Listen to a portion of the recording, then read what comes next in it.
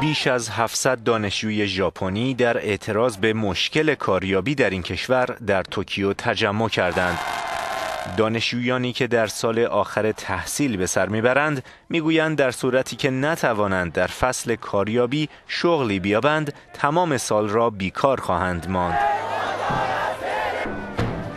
شیه ایتو یکی از این دانشجویان می‌گوید در ژاپن همه دانشجویان همزمان دنبال کار میگردند. بنابراین واقعا به این بستگی دارد که چقدر سریع بتوانید کار پیدا کنید. ولی خوب است که خود را به چالش می‌کشیم.